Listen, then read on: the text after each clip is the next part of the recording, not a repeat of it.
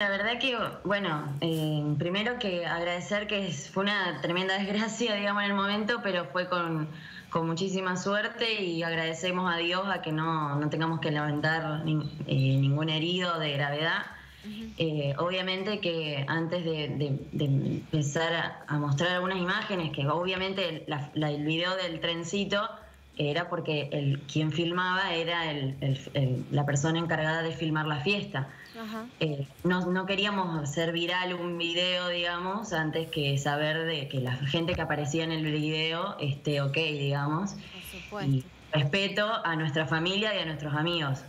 Eh, no, la verdad que Dentro de todo, eh, tratamos de tomarlo con, un poco de humor porque después de haber pasado todo, porque bueno, al principio vos empezás a escuchar los gritos, empezás a escuchar a que eh, no encontraban a mi sobrinita, justo en el sector de atrás, donde se empezaron a romper los vidrios, es donde estaban los niños, eh, que había un sector para ellos, digamos, para que jueguen, y, incluso estaban durmiendo algunos, y todo lo que son las personas adultas.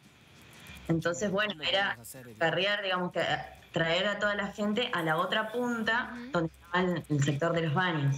Así que bueno, una vez que, ya se, nos tranquilizamos y que estábamos todos, ahí bueno, era como que, obviamente no estaba para seguir la fiesta, pero, pero bueno, eh, la idea era tratar de, continuar de alguna manera calmados. Eh, bueno, nada, cortamos la puerta.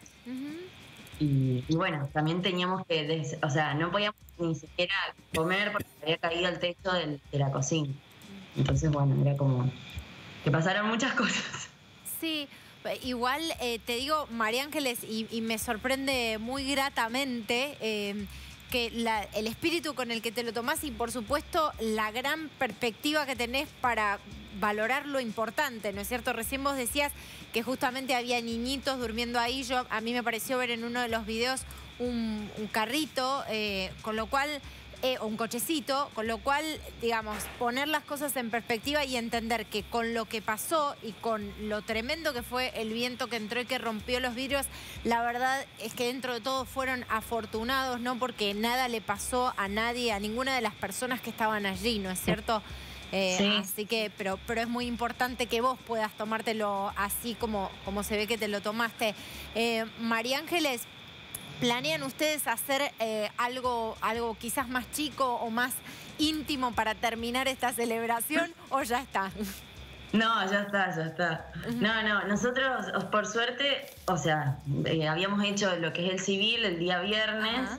Y eh, bueno, empezamos antes porque nos queríamos, justamente somos una familia y tenemos amigos que nos gusta bailar mucho, así que la idea era anticipar la iglesia, por eso le hicimos la celebración a las 7 para tener más noches de baile.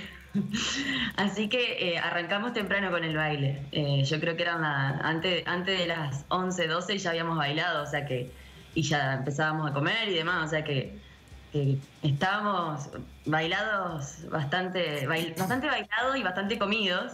Así que, pero bueno, eh, obviamente que, que había pies que aguanten para seguir bailando y había espíritu de fiesta porque realmente nuestros amigos entendieron la, intención, o sea, no, había grupo electrógeno, la gente del salón, o sea, la verdad que se reportó, pero no podíamos continuar, había vidrios, había, o sea, había gente que se había estillado, realmente eh, no, no podíamos eh, continuar de ninguna manera.